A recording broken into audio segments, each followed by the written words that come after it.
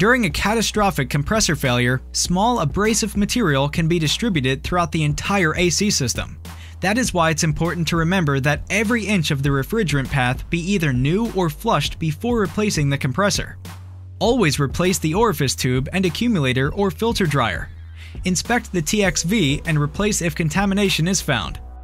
Hose assemblies with inline filters or mufflers cannot be flushed and therefore should always be replaced. Other types of hose assemblies should be inspected internally and externally for cracks, barrier softness, and loose or embedded particles. Always check the crimp connections as well.